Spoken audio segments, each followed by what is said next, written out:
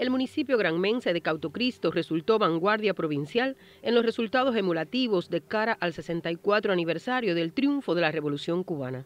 Con respecto al tema del clima sociopolítico que se vive en el municipio, es bastante favorable también porque al tener un resultado bueno en la economía, la alimentación, en la salud, en la educación, las personas no es que no haya alguna que no tenga inconformidad, pero la mayoría respira un ambiente de tranquilidad, de prosperidad, de, buena atención.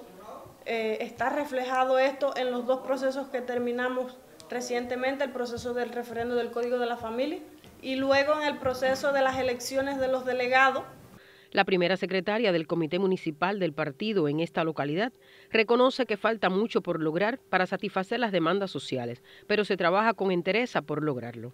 Aunque tenemos todavía problemas e insatisfacciones, se ve que en nuestro municipio ha existido un avance, un desarrollo.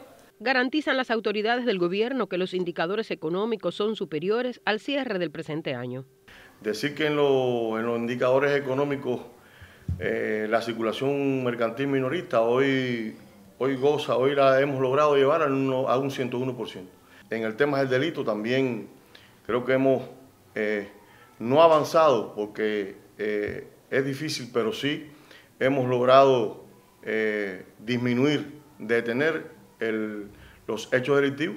Tenemos que decir también que en el término de autoabastecimiento municipal, hoy la campaña de frío eh, marcha al 93%. Se ha trabajado también en el arrendamiento del transporte en el territorio, con cinco ómnibus arrendados. En el tema de la salud, la mortalidad infantil hoy la tenemos en cero.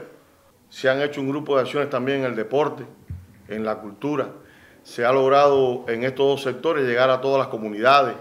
Se ha trabajado fuertemente en atención a los barrios, principalmente con más intención, aquellos que, son o que lo hemos visto con mayor vulnerabilidad, nos quedan muchas cosas por hacer. Pero sí creo que partiendo de la estrategia de desarrollo de nuestro territorio, partiendo de, la unidad, del vínculo del partido, la, dirección de la asamblea, la el consejo de la administración con todas sus organizaciones, estamos eh, en condiciones de enfrentar un, terminar un año 2022 eh, con los indicadores que hemos evaluado, seguirlos mejorando y bueno, enfrentar un año 2023 eh, con mayores logros y satisfacción para, para nuestro pueblo.